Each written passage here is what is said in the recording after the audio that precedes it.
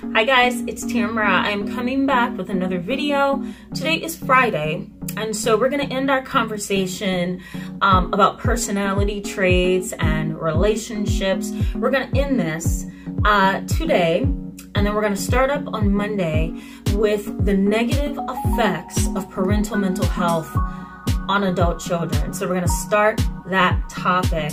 Thank you so much for coming back to my channel for those who are subscribed. And for those who are not, I encourage you to go ahead and hit the subscribe button over here on, this, on the left side so that you can stick around with us as we talk about trauma and relationships and a lot of, of um, situations and experiences that a lot of people, including myself, have experienced or seen vicariously. So I encourage you to go ahead and join our community um, as we learn and explore and grow from, from our conversations. So today's topic is going to be about the avoidant personality. I actually have a client in another country. Um, he lives in the UK. And then I also have a client in Canada.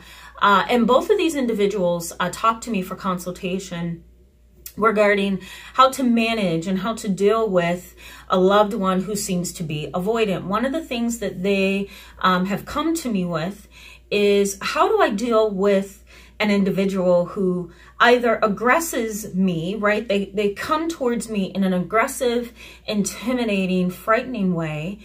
Or how do I deal with somebody who completely pulls back from me, shuts down, refuses to talk, gaslights me and stonewalls. What do I do?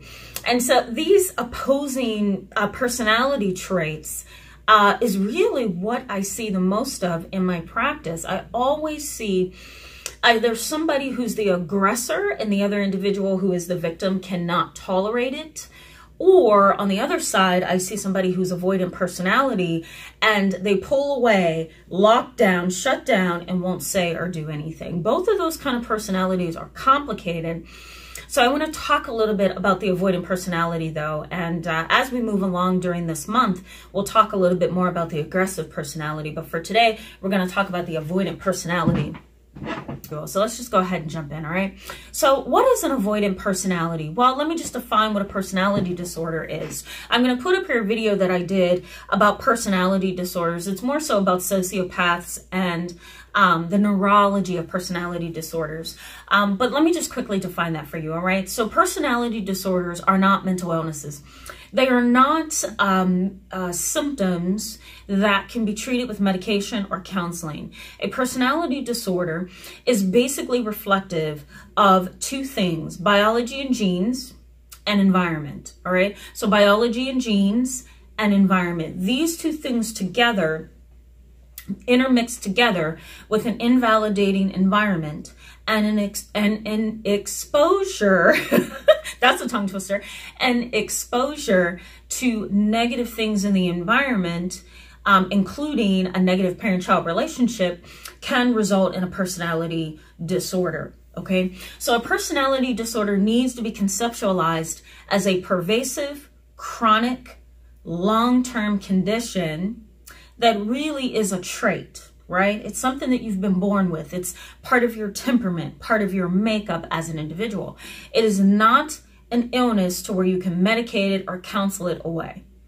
The individual has very ingrained ways that they think and perceive life. They think about and perceive life, okay? So an avoidant personality does this, okay? They avoid. That's very, that's very explainable, right? They avoid. But what do they avoid? Well, they avoid the things that they are afraid of. And some of the things that they're afraid of includes rejection, loss, an unbearable transition, ridicule, uh, judgment, uh, high expectations that they feel they cannot reach.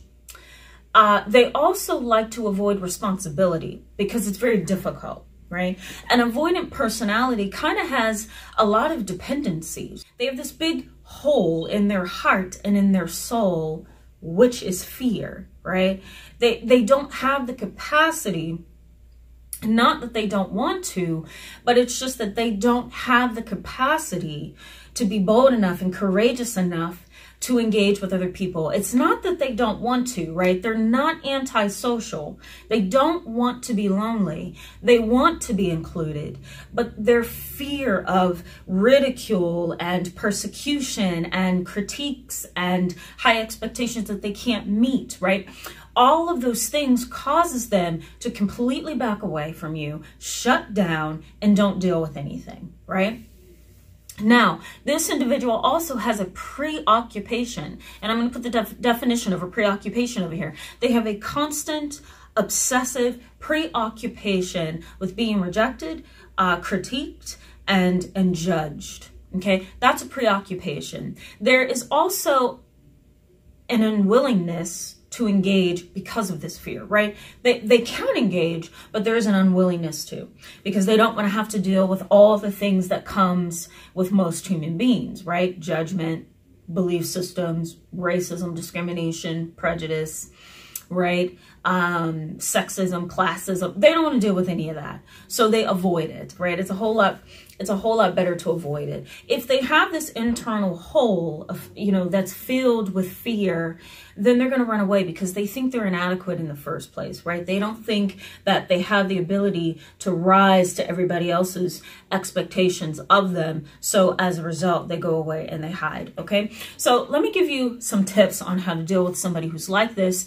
The number one tip that I encourage you to follow is not to force them, right? You don't want to force somebody who's an avoidant personality into engaging because the very reason why they're not engaging is fear. They don't want to deal with being forced to do anything because they have an internal feeling of inadequacy, all right? So don't force them.